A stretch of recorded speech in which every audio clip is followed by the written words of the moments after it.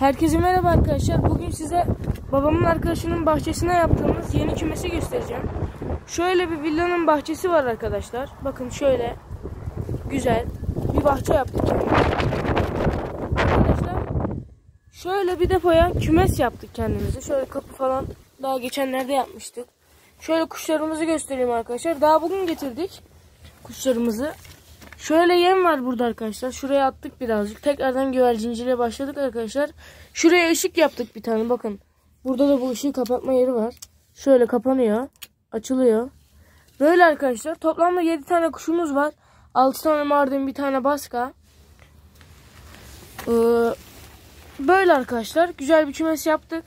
Şöyle suluğumuz var. Hayvanlarımız burada rahat edecek diye düşünüyorum. Şu an kanatları bantlı arkadaşlar. Çünkü daha alışmadılar buraya.